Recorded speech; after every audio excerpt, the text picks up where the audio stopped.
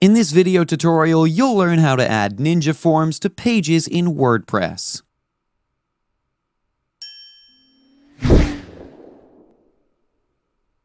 Ninja Forms is a very simple drag and drop form editor. You can use this plugin to create any type of forms for your website.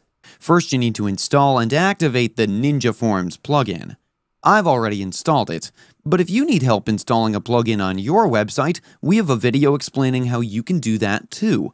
I'll link it in the description below, or you can also click on the eye icon on the top right corner of your screen to view the video. Now, go to Ninja Forms and click on Dashboard. As you can see, I have some forms created here. I'll just open this one Now, here you can simply drag and drop the fields to the form. And then click on Publish.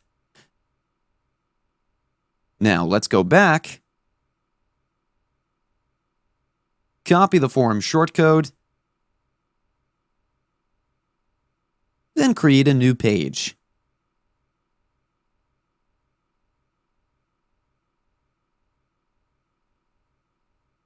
Give the page a title.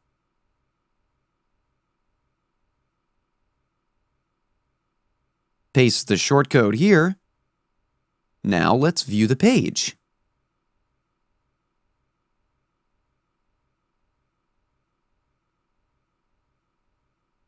As you can see, the form was added successfully here. This is how you can add Ninja Forms to pages in WordPress. That's it for today's video. If you have any questions or comments, please leave them in the comments section below. And if you like this video, please click on the like button. If you're new to our channel, hit the subscribe button and tap the bell icon so that you don't miss any of our future videos.